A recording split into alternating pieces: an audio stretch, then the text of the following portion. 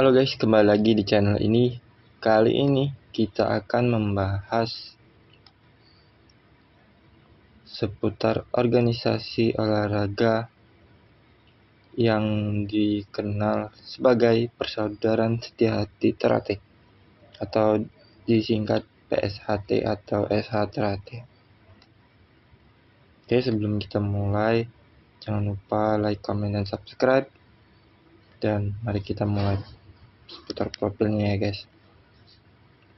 Jadi organisasi olahraga ini diinisiasi oleh Ki Hajar Harjo Utomo pada tahun 1922 dan kemudian disepakati namanya menjadi Persaudaraan Setia Hati Terate di kongres pertamanya di Madiun pada tahun 48.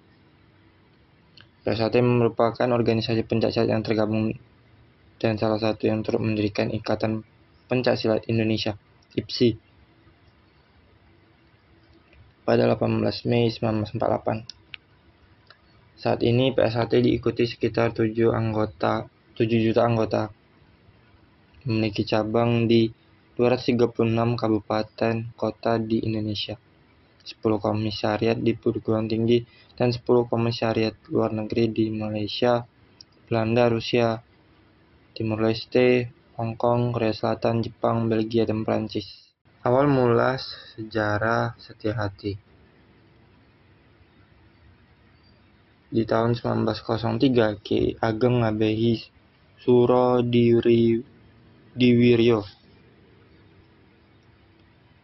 meletakkan dasar gaya pencak silat seti-hati di Kampung Tambak Gringsing, Surabaya. Sebelumnya gaya silat ini ia namai Joyo Gendilo Cipto Mulyo dengan sistem persaudaraan yang dinamai Sedulur Tunggal Kecer. Ia pindah ke Madiun pada tahun 1917 dan mendirikan persaudaraan setia hati di Minongo Madiun. Awal mula PSHT pada tahun 1922 di Ki Hajar Haryo Utomo, salah satu pengikut aliran pencaksilat setiati yang berasal dari Pilang Bango, minta izin kepada Ki Ageng Ngabehi Suro Diwiryo untuk mendirikan Pusat Pendidikan Pencaksilat dengan aliran Setiati. Niat ini dilatar belakangi keadaan saat itu, di mana ilmu pencaksilat hanya diajarkan kepada mereka yang memiliki status bangsawan seperti bupati, bedana atau masyarakat bangsawan yang memiliki gelar raden. Sehingga Ki Haryo Utomo berniat agar ilmu pencaksilat ini bisa dipelajari oleh rakyat jelata dan pejuang perintis kemerdekaan. Ki Ageng Ngabehi Suro Diwiryo setuju atas ide ini, asalkan pusat pendidikan nanti harus memiliki nama yang berbeda. Akhirnya didirikanlah SHPSC, Persaudaraan Setia Hati Pemuda Sport Club. Pengikut Ki Ageng Abehi Suro Diwiryo yang lain telah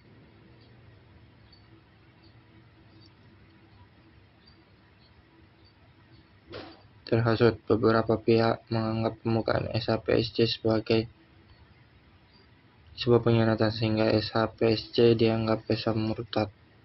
Kalau pihak PM mendukung pemurnian aliran setia hati yang mengklaim sebagai penulis ajaran Ki Ageng Abehi sudah Diwiryo ini tergabung dalam SH Panti.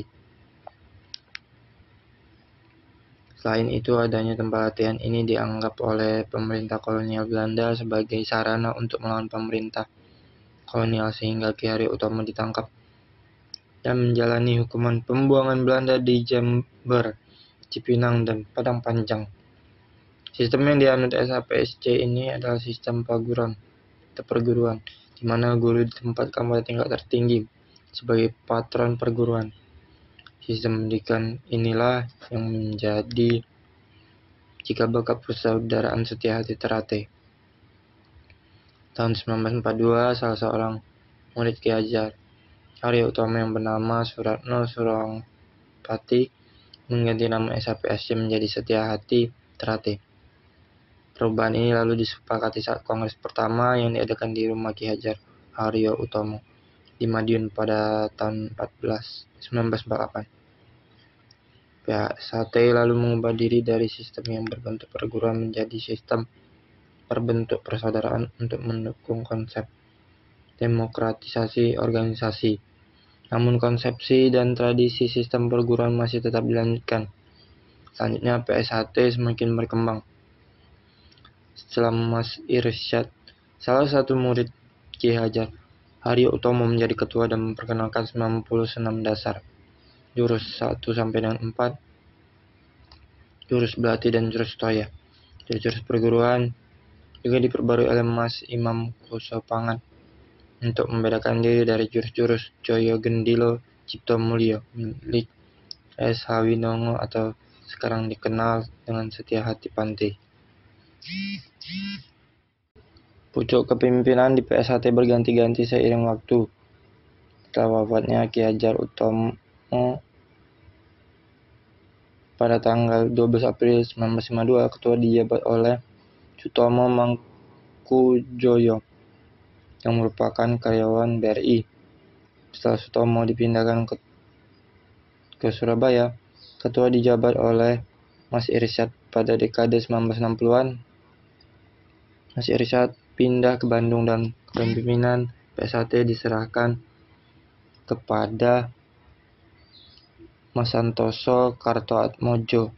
Setelah itu terjadi pergolakan tahun 1965 sehingga ketua kembali dijabat oleh Sutomo Mangkojoyo hingga tahun 1974.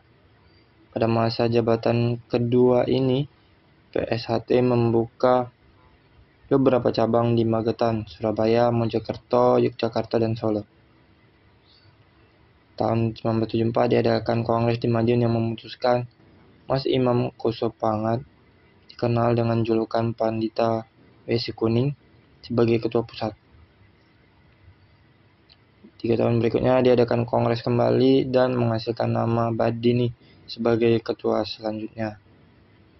Pada masa ini organisasi mengalami masalah keuangan sehingga salah satu pendekannya yang bernama Tarmiji Budi Harsono keluar dengan solusi kontroversial yakni mengubah sistem pembayaran pengesahan warga dari menggunakan uang logam lama ketangan atau benggolan menjadi uang logam yang berlaku baik rupiah maupun yang lainnya seperti dolar ringgit atau rial agar dapat membantu keuangan organisasi. Sebelumnya, uang ketangan dan benggolan didapat dengan cara membeli dari istri Ki Haryo Utomo, Inem sekaligus sebagai bentuk terima kasih organisasi untuk membantu keluarga Ki Haryo Utomo. Maka Tarmiji meyakinkan pada semua pihak yang mempertanyakan usul tersebut, karena PSHT sudah berubah menjadi organisasi modern yang menjadi milik anggota bukan perorangan lagi. Dan untuk membantu keluarga Ki Hari Utomo sudah dipersiapkan solusi lain. Pada tahun 1981, Tarmiji Budi Harsono diangkat sebagai ketua. Pada tahun 2000 kongres diadakan kembali dengan menjadikan kembali Tarmiji Budi Harsono sebagai ketua dan dilengkapi dengan sembilan tokoh lainnya sebagai Dewan Pusat atau yang dikenal sebagai Nawa Pandita. Saat ini Ketua Pusat PSAT dijabat oleh Dr. Insinyur Haji Muhammad Taufik, SHMSC.